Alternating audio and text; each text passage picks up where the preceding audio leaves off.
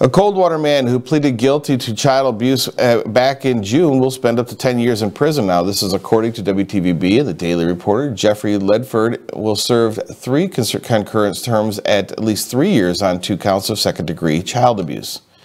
Ledford pleaded guilty to the charges in a plea deal that dropped the third count. Now, he hit his infant son four times in three incidents back in March, eventually leading to a trip to the emergency room at Coldwater Regional Hospital and a flight to the pediatric intensive care, room, care unit at Bronson Methodist Hospital in Kalamazoo.